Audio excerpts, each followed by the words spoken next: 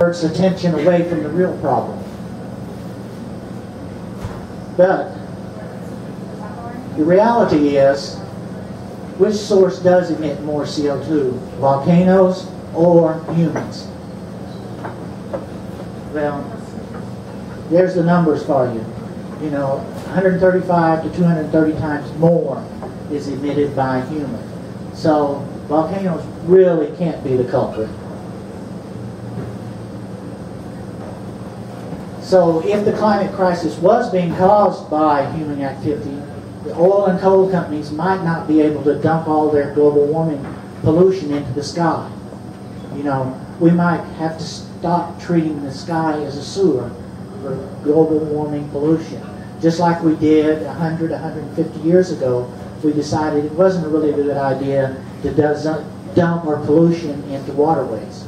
We've got to get that same mind frame that the sky is not a sewer. But we know where all the money comes from. Koch brothers. yeah, yeah. so, isn't there something else we can blame it on?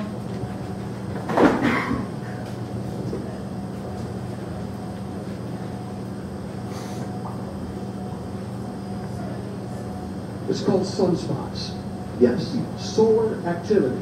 That explains why one sees similar temperature cycles on Mars and Jupiter to the cycles that are happening on this planet. That's why ice caps on those planets, like on ours, expand and contract. It's the sun, stupid. Oh yeah, and these people are in government. Uh, first of all, uh, there are no ice caps on Jupiter. so, another red herring. But if we look at solar energy, solar activity, in fact, it has been going down slightly in the past 30 years. So as temperatures go up, solar activity has stayed the same or gone down slightly.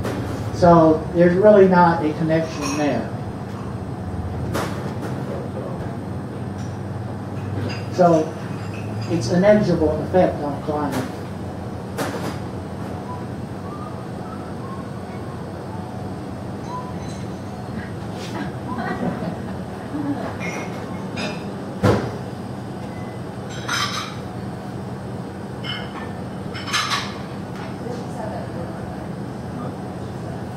But the reality is there are there are many, many fingerprints for climate change, not just climate models. In fact, here are a dozen of different sources of independent evidence which are used to reconstruct climate.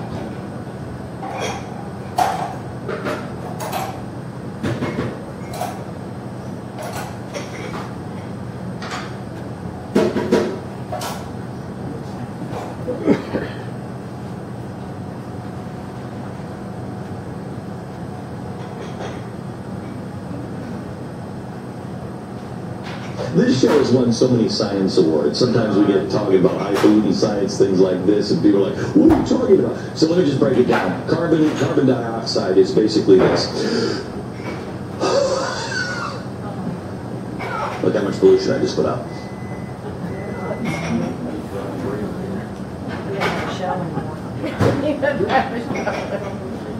Yeah, okay.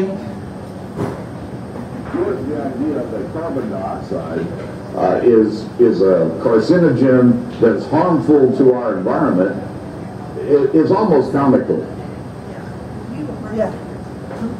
Who said who said that CO2 was a carcinogen?